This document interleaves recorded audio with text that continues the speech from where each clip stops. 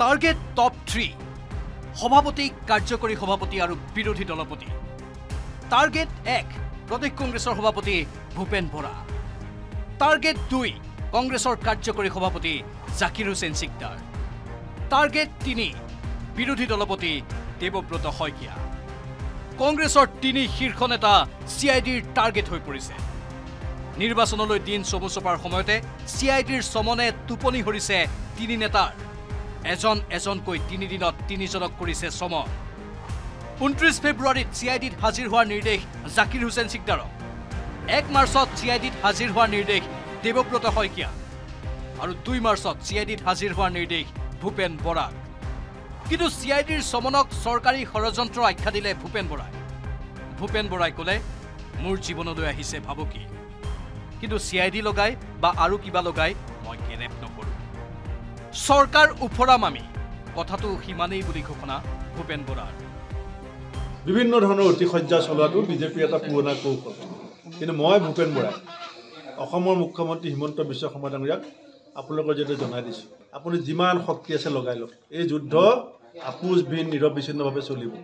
আৰু অসমৰ ৰাইজে এই লোকসভা নিৰ্বাচনত আপোনাক প্ৰত্যুত্তৰ দিবলৈ গৈ আছে। ইতিমধ্যে মোৰ নিৰাপত্তাৰ প্ৰতি ভাবুকি আহিছে।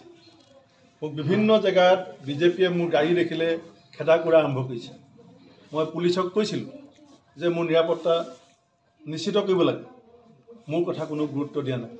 গতিকে মোৰ জীৱনৰ প্ৰতি ভাবুকি আহিছে। চি আৰ ডি কি ডাঙৰ কথা? তিনিওজনৰ বিৰুদ্ধে ৰাজহুৱা সম্পত্তি ধ্বংসৰ গোচৰ ৰুজু হৈছিল গুৱাহাটীৰ বশিষ্ঠ থানাত। ৰাহুল গান্ধীৰ ন্যায় যাত্ৰাৰ সময়ত গুৱাহাটীৰ খানাপাৰাত সৃষ্টি হৈছিল উত্তপ্ত পৰিস্থিতিৰ ন্যায় যাত্ৰাৰ সময়ত খানাপাৰাত কংগ্ৰেছে ভাঙিছিল আৰক্ষীৰ বেৰিকেড। আৰক্ষীৰ সৈতে হতাহতিত লিপ্ত হৈছিল কংগ্ৰেছৰ নেতা কৰ্মী।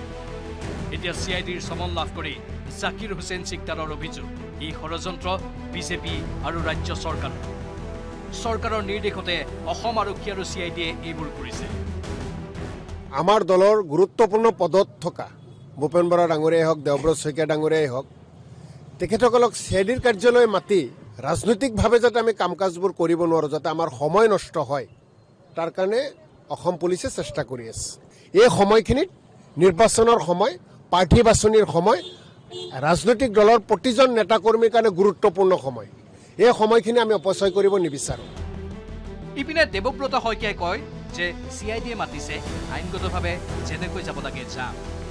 মুখ্যমন্ত্ৰীক এনেকুৱা কথা ক'বলৈ নিদিওঁ যে ই সংবিধান বিৰোধী আইন বিৰোধী কাম কৰে। আপুনি এনেকুৱা কোনো মোক যাতে কোনো উচতনি নিদিয়ে C I P C I ডিয়ে মাতিলে নাযাবলৈ নিয়মমতে যিটো হ'ব লাগে মই উকিলৰ লগত পৰামৰ্শ কৰিম আৰু মই নিশ্চয় যাম।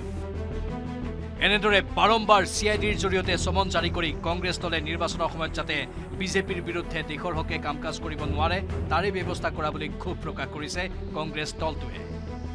Bureau' report news eighteen Assam north east